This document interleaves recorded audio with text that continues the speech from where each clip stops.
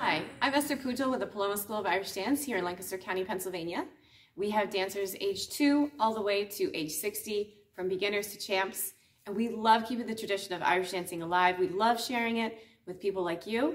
We're very sad not to be able to be at the community fair with the Church of the Good Shepherd this year, and we hope to be back next year. In lieu of a live performance, we prepared some videos for you. Enjoy the show and stay safe.